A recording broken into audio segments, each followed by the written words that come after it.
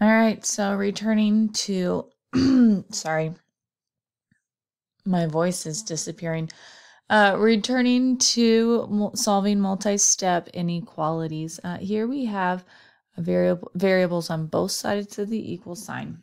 Uh, and so what we're going to want to do first is make it to where we have our variables both on one or the same side as the equal sign. So again, as I said before, I always like to move uh, my variables so that my variable is positive. And so since the 3 is smaller than the 6, I'm going to subtract 3n from both sides. And so 6n minus 3n is 3n, minus 1 is greater than 8.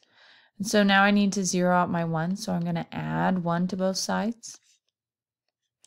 And so now I have 3n is greater than 9. And then I'm going to divide by 3. And so n will be greater than 3. And so then I can check my answer.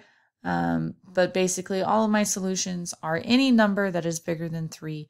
And because it doesn't have the equal to, this, if I had to graph it, it would be one with an open circle. All right, next equation. Um, I asked myself, do I need to distribute? And the answer is yes. We're going to have to distribute that 2 to the 5 and the negative 4. So here we have 10 minus 8a is greater than or equal to 10 minus 8a. Um, and I know something. You may, you may not. I'm going to move my variables to the same side. So I'm going to add 8a to both sides. And my a's disappear. So now I have 10 is greater than or equal to 10. And in this case, that is true. 10 is equal to 10. And so this is a true statement. And so if you have a true statement, then our answer is all real numbers.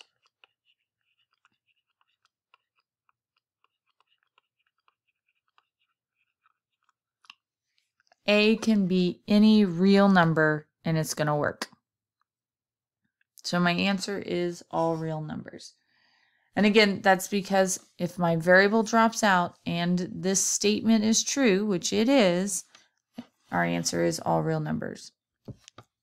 Uh, on this one, I don't need to distribute, but I do have same side like terms. So I'm going to make this 6m minus 5 is greater than 7m minus 1m is 6m plus 7. Sorry, I gotta make the cat stop scratching the couch. Um, from here, I am going to move my 6m. So I'm going to subtract 6m from both sides. And my m's will disappear, and I'm left with negative 5 is greater than 7. This will never be a true statement right? Negative 5 is not greater than 7. Uh, and so since this is false, oh, there we go. Since this is false, my answer is that there is no solution. And you do have to be careful because it also depends on the sign. So like if we're looking at example 5, 10, if this was just greater than and didn't have the equal to, 10 greater than 10, isn't true. So then it would be no solution. But because it has the equal to, then it's and all real numbers.